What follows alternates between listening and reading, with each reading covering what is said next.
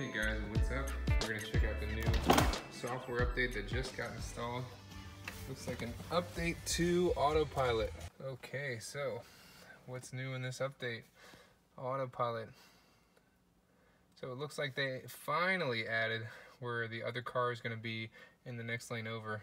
Autopilot version 1 had this, so this Autopilot 2.0 car uh, is gonna have that now. And mobile connector improvement. Okay, so I guess they're gonna do an update to the mobile connector when you have that plugged in. Kind of cool that they can just do that over the air. And then this is previous release updates. Cool. That is it. So we are now running